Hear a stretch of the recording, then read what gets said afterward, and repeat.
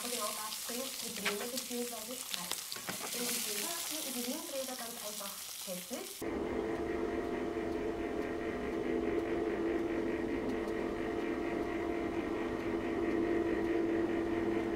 Haus, in dem heute Experten und Politiker über die Zukunft der Windenergie diskutieren. Es soll mehr davon geben, heißt es. Aber die liegenden Einspeisetarife würden den Bau von Windrädern für viele Betreiber unrentabel machen. Bessere Tarife würden mehr Investitionen auslösen, dann könnte dreimal so viel Windenergie produziert werden wie bisher. Das bedeutet aber nicht, dass wir dreimal so viel.